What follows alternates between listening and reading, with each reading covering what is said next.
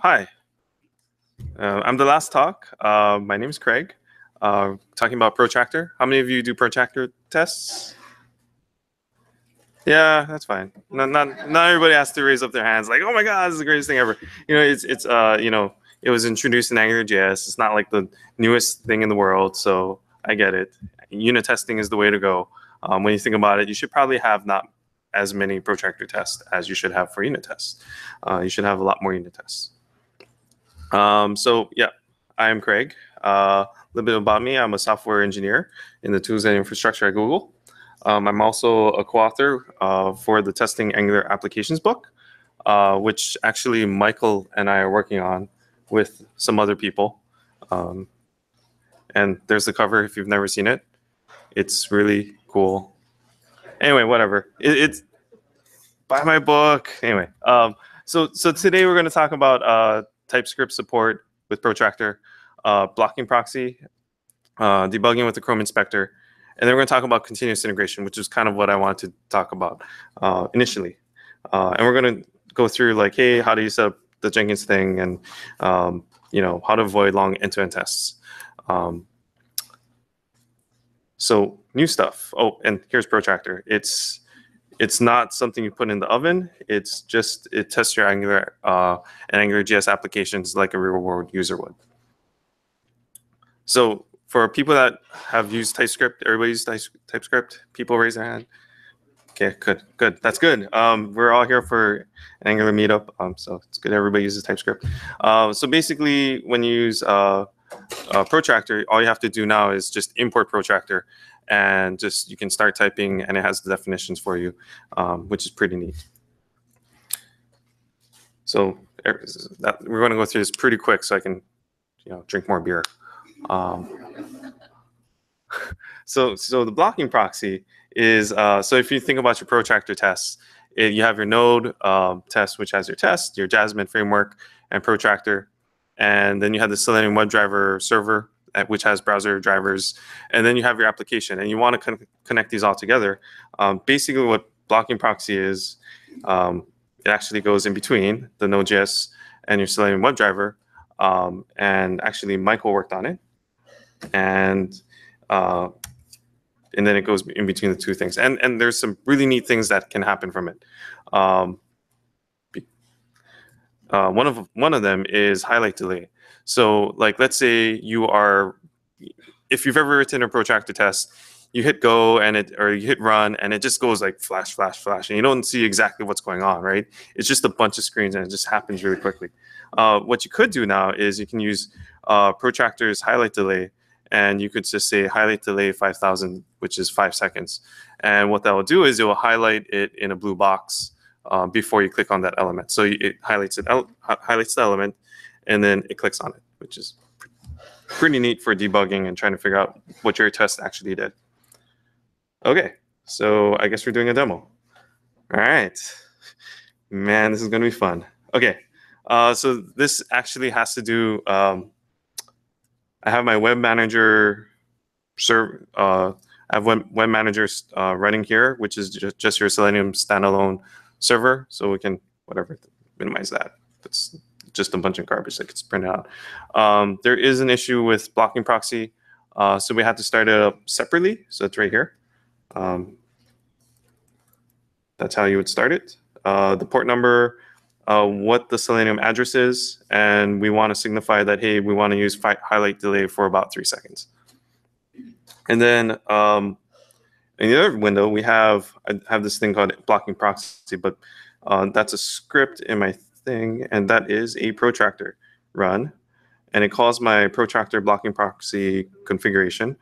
Um, and it has my uh, blocking proxy URL, which is uh, this one with, with, that, with that port. And we want to signify that it's highlight delay. Normally, all you have to do is write in protractor and then your configuration and then dash dash highlight delay 3000 seconds. Uh, this is just the workaround for the issue that's uh, uh, that's there right now. So we'll run this. And it doesn't work. Why doesn't it not work? Man, this is this is the reason why. Okay, let's try it again. Damn it. Are you on the right? Am I in the not in The, the? the context app started. Yeah, yeah, that's where it should be. All right. That's because it's not there. It doesn't exist.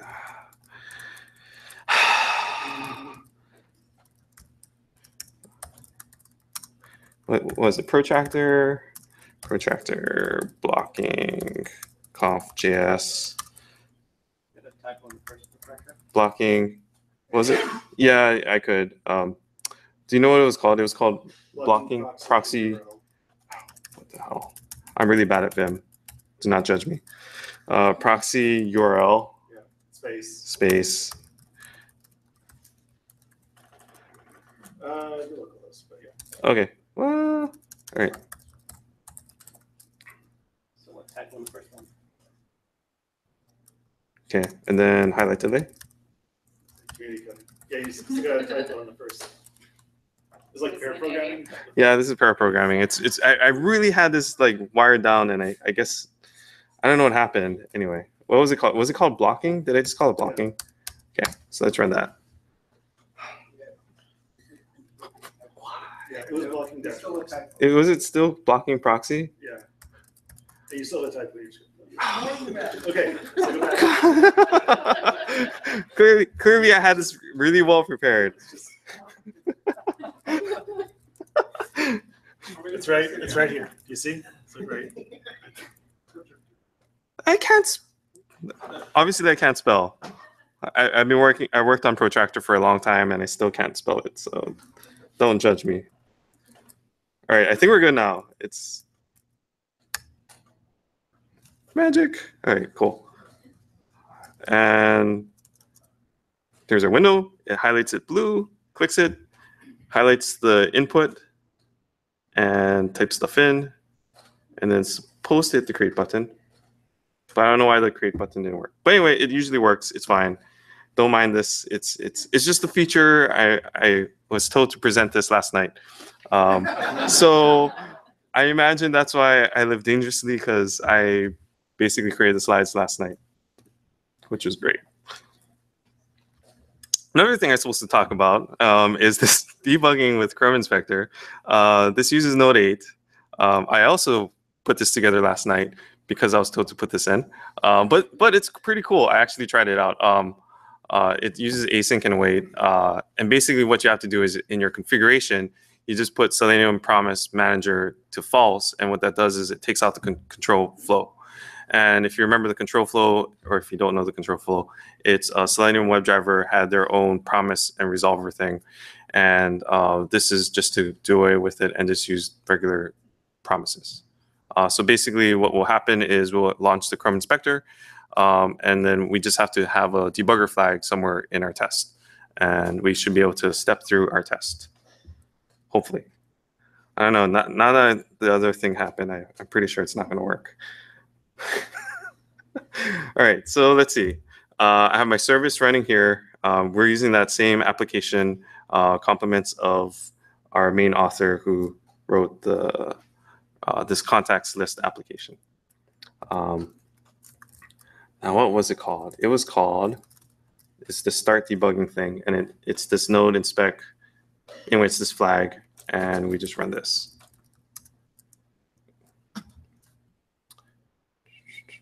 And then we go to Chrome somewhere, and we type in Chrome inspect, and it's this inspect thing that comes up. We Click on that.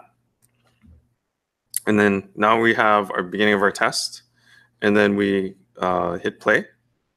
And we get to the first debug part of our test. So we'll watch it go through. And there's our debugger thing. And we could take a look at it. It's basically in a it block. And we get a bunch of elements and we click a bunch of stuff. And we have this debugger thing. What is this? Oh, that is pretty cool.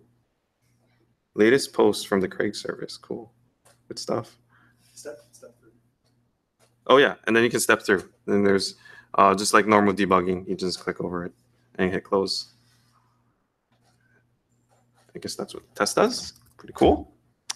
Uh, again, I prepared this last night um, because I was told to present at least this part.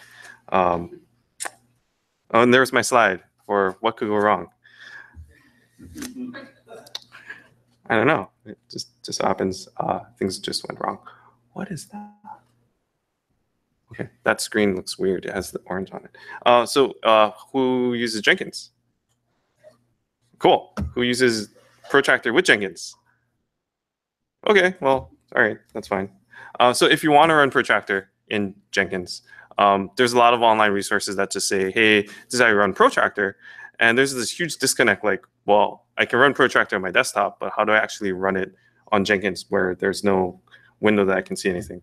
And um, in this example, I'm using XVFB, but what you could do is you could also use um, headless Chrome, and you don't have to even worry about all this other stuff, and that's pretty neat. Uh, so if you're going to actually do this, I would just use headless Chrome. Um, what you would do is you, in this example, install XVFB, which is a frame buffer for to like emulate your or have a virtual environment for your Windows, your yeah, whatever. Anyway, Virtual desktop. virtual desktop, and then you install Chrome, and then we are we're installing NVM, which is your node version manager. Um, you install, you basically tell where uh, your Java is and your NV or your XVFB in your global configurations. Uh, you would want to do this because you need Java for to run WebDriver Manager to run your Selenium server. Um, and then you need to make sure you have plugins. Uh, so the ones I recommend are the JUnit plugin, which comes with it automatically, uh, the NVM wrapper, and XVFB. Uh, and if you're using Chrome headless, then don't install XVFB. So, yeah, I know this is really interesting. Okay, uh, and then uh, in your Jenkins job, uh, way down in your build environment, you just say use Node version 7, uh, start and stop the XVFB for me when uh, when the job starts and when it, and shut it down later. Uh, also, uh, I also use this ANSI console output because uh, the output is in green, um, so that it's helpful to uh, see it pass. And then some of the post build actions I have on my on this test is I archive all my outputs for my JUnit tests, and then I basically create a plot, which is that thing, which is actually the chapter 10's test for my book. That's pretty cool, right? Hey, Craig. Yeah. Uh, Maybe I missed it. Where was protractor and all that? It's there. It's just just not there. Uh, let's let's look. I can pull up my it's my computer at home.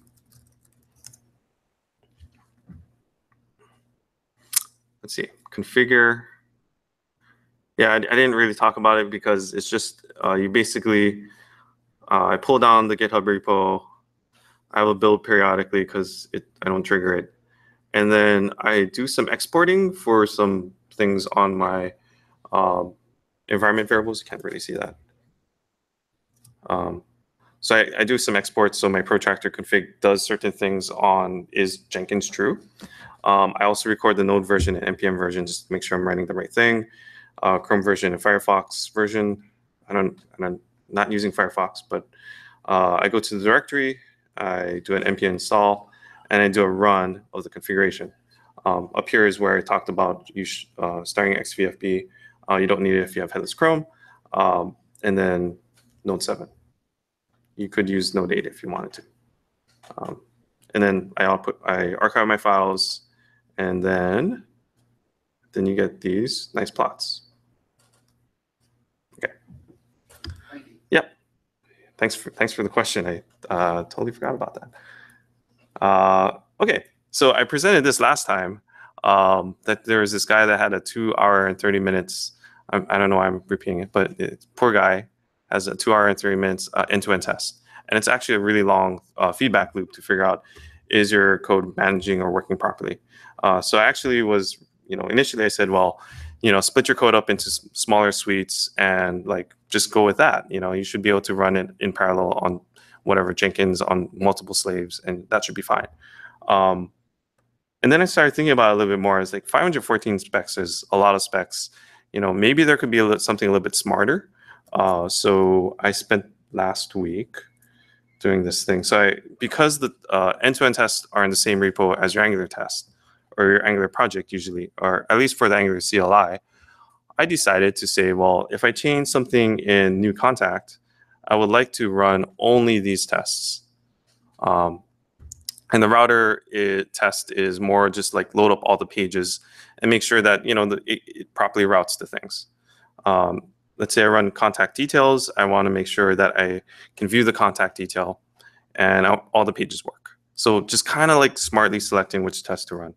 Um, so I basically was thought, well, if I could stage the commits and compare to master, and then I could find the paths that were different in the uh, Angular in, in Angular uh, source control or in the source, I could then map it to suites, and from those suite names, I could get a list of specs to run, and from those list of specs, I could load, load up the uh, generic protractor configuration, replace the specs, and export the new config, and then run that as my protractor config. Um, so this is my mapping. Um, these are the paths to the repo or to the Angular application, and it has uh, routing suite and a view contact suite, which makes sense. And then on the other side, in this big JSON, or not big, uh, a JSON file, I have this view contact suite, and then I just say, um, you know, this is the this is the end-to-end test I want to run. Um, it also had the router test, which is not here, but it, it would just run a different uh, TypeScript uh, test spec. Okay, so what does that look like? This I know works. All right, so let's go to our code, and we're just gonna type something in. We're gonna save it into this contact details um, uh, component, which is in the context detail uh, folder. Go to our thing. We'll, I guess I'll add add my script, and then I'll stage it. Yeah. Uh, we'll just stage it to the last commit. Okay, so it's staged, and then now I can run. What it, what I could do is it would end up doing is it will say git diff um, was name only, and it's like master, right? And it will it will show a list of pack uh, files that were changed. Okay, so now I could run. Hopefully, it's there. What is it called? It's called something else. It's called end-to-end smoke because I didn't want to run too many things. Uh, so what it should do is should, should just run the details page and should navigate from the contact list to the specific contacts detail and just run that test and also load up all the pages just to make sure it works. So here's my test. It loads up all the pages really quickly. And then I don't know why it ran it twice. Is it broken? Oh, it's broken. Who broke it? This worked. I swear to God. Like, of course, of course, things don't work when you do a live demo. Anyway, this this does work. I actually had this running. Actually, no. Actually, I know why it doesn't work. Hold on. I totally goofed this thing. Uh, no, where is it? I can do this. I can do this. Hold on. Uh, we'll use this. There's an extra slash over here, and I do this. Uh, I do this uh, check, and it has. For some reason, I, I shouldn't have had a slash there. Oh, we'll lo- load up the main application. So this is the Firebase application. So this should work. So now we're just like looking at the uh, routing, and now we're looking at viewing a contact, and then we can also look at it from creating contact as well to make sure that the view is right. Uh, so we ran a few set of the tests. We only ran 19. I think there are like 40 tests in this suite. So or in this uh, in this protractor test. Uh, so that's that's that was my demo. Thank goodness it worked. And if you want to know more about everything, uh, these are some of the resources I used. Uh, if you want to see a demo of blocking proxy working, uh, this is one of the tweets we did last year. It actually does work. Um, uh, I have a post about Jenkins working in, uh, in uh, protractor working with Jenkins. And then this is the Stack Overflow question we just talked about. Um, and I will have a link or I have a link to the to my code for getting it to run only a part of your tests. It does require you to maintain a mapping of like your end-to-end tests to your repo, but it makes sense. Like you can actually run less tests. And I feel like when you run end-to-end tests, they're always they can always become flaky, and you don't want to wait for such a long feedback loop. So you can actually just run part of it. So do you have any questions? Yeah. So if you were doing this process, would you still see value in every so often running all of your tests just to make sure that you're cutting things out, miss, miss a test? Sure. catch a problem? So, so the question is, um, you know, should, should shouldn't we run all the tests at some point or another? Because you know, what if you know maybe we're not capturing everything with just running part of the tests? Um, yes, you should probably run all the tests every so often.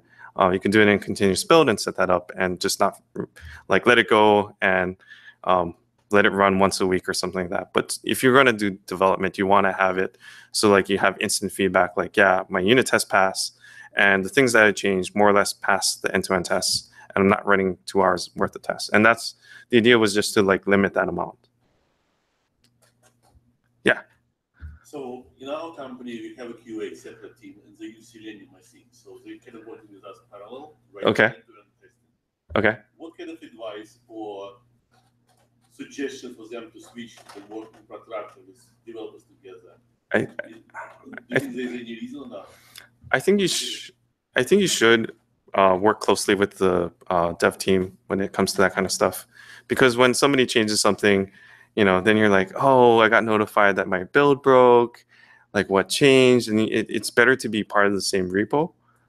And and like even with this uh, CLI, it's like here's your end-to-end test inside your repo, and and you know some people might say that's not good or it doesn't have to be, but I feel like when you take that snapshot of like, yeah, I'm going to launch the website, I want to make sure that my end-to-end tests pass. Then you always have this truth area where it's just like the IDs are of this uh, or attributes are this. I should be able to verify it with my protractor test. So I- think there's benefit for there is, I, I think there is benefit for your dev and uh, QA group to work closely together. To you know, just it just makes life easy. Any other questions? Cool. Thank you.